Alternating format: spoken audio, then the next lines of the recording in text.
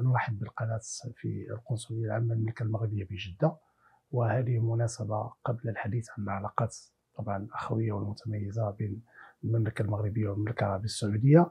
هي أولا آه، نحب أن نقدم الشكر ونقدم آه، أنزل العبارات آه، الامتنان للمملكة العربية السعودية وملكها حفظه الله الملك سلمان بن عبد العزيز وولي عهده الأمين الأمير محمد بن سلمان حفظه الله اولا على الدعم وعلى التضامن وعلى التآزر الذي آه، خصصوه للمملكة المغربية لمواساتها في الفاجعة التي حلت ببلادنا نهاية الأسبوع الفارط آه، والتي خلفت العديد من الضحايا من قتلى وجرحى ودمر هائل. فنشكر آه، دولة المملكة العربية السعودية الشقيقة على هذه البادرة الطيبة التي تؤكد على آه، عمق العلاقات التاريخية الأخوية التي تجمع البلدين الشقيقين بقيادة جلالة الملك محمد السادس نصر الله و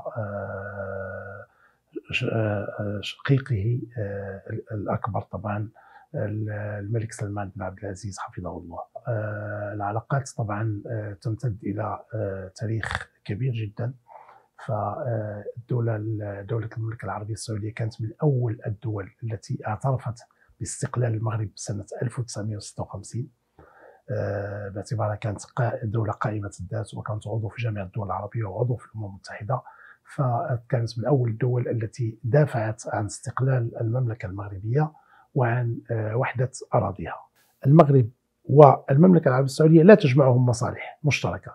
تجمعهم مواقف تجمعهم تاريخ تجمعهم دين تجمعهم لغة تجمعهم عادات وتقاليد الاستثمارات السعودية في المغرب يعني يمكن تأتي الآن في المرتبة الثانية أو الثالثة على التقدير آه، لأن هناك كثير من الشركات السعودية استثمرت في المغرب لها علاقات قوية مع الشركات المغربية وأصبح المغرب من الدول المستوردة للمنتجات السعودية. بهذه المناسبة آه، نقدم تهانئنا الخالصة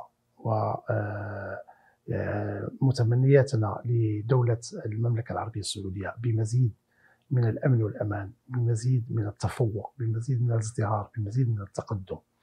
وبالمناسبة أنا أؤكد شخصيا أنني انبهرت كثيرا بما أشاهده حاليا في السعودية لقد كان لي الشرف في بداية حياتي الدبلوماسية التي تمتد ل 35 سنة أن بداية حياتي الدبلوماسية بدأتها في هذا البلد آه، منذ حوالي 31 سنة سنة 1992 وعينت في هذا المركز كنائب قنصل واشتغلت فيه مدة آه، خمس سنوات فكانت تجربة قوية جدا.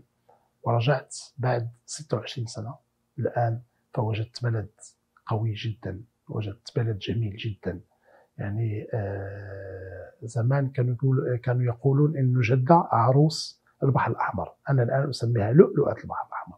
فكل تهانينا الحارة ودائما متمنيات لنا ودعاء لنا هذا البلد أن آه، يكون يعمه الأمن والأمان وتعمه الازدهار والتقدم وللشعب السعودي بمزيد من الرقي والتقدم.